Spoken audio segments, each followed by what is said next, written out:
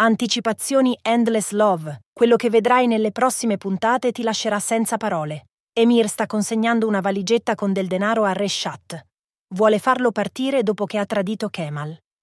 Contemporaneamente, Galip, che ha accettato di essere complice del figlio per inscenare il proprio rapimento, si fa trovare da Kemal nel magazzino di Zehir utilizzato come finta location dei sequestratori. Intanto Nihan si è fatta accompagnare in un magazzino dove sta avvenendo l'incontro tra Emir e Reshat. Inavvertitamente fa un rumore e mette sull'avviso i due uomini che cominciano a cercarla. Per nascondersi si rifugia nella ghiacciaia. Nihan è bloccata dentro, comincia ad andare in ipotermia e chiama al telefono Kemal. Kemal riceve la chiamata mentre è messo alle strette da Galip e la polizia sta arrivando sul posto. Invece di restare per provare a discolparsi, Kemal decide di scappare per andare a salvare Nihan. Prima di continuare, se vorresti ricevere in anteprima le nuove anticipazioni di Endless Love, scrivi sì nei commenti. Riprendiamo! Intanto, Asu decide di suicidarsi per essere stata abbandonata ancora una volta da Kemal e chiama, senza risposta, sia Nian che Kemal. Nian riceve una telefonata di Emir mentre è in clinica con Kemal dopo aver soccorso Asu.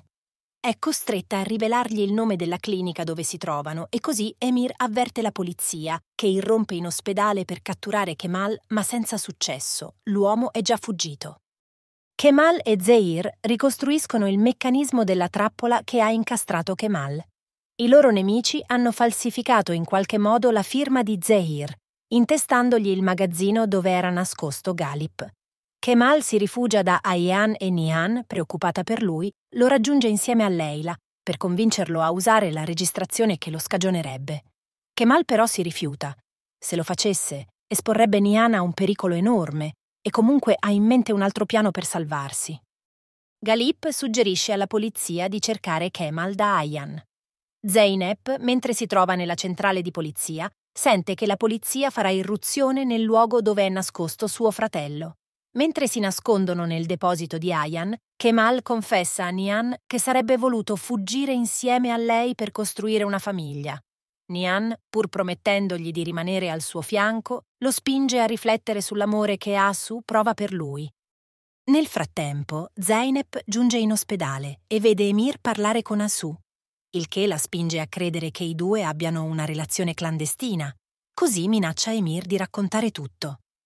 Emir però le fa intendere che conosce la verità sulla morte di Osan e la costringe al silenzio.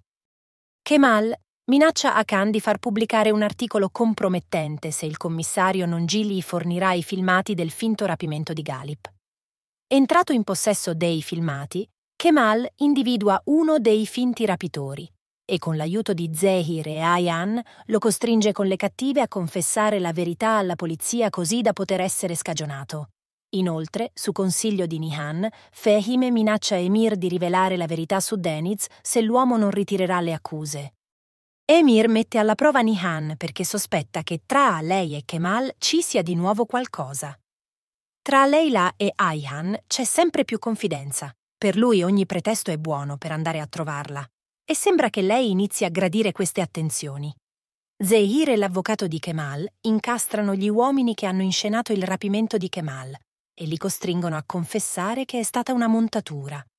Hakan comunica a Emir che non può far altro che chiudere le indagini e archiviare il caso. Asu è in convalescenza, ma deve subire le continue insinuazioni di Zeynep. Kemal si reca finalmente a trovarla. Inizialmente è fermo sulle sue posizioni, ma prima di andarsene le lascia intendere che c'è una possibilità che tornino insieme. Prima di andar via, Kemal vede la stessa borsa che aveva notato in casa di Tufan e chiede a Leila di indagare per capire quanti pezzi uguali sono stati venduti in città. Se vorresti il continuo della storia, scrivi sì nei commenti.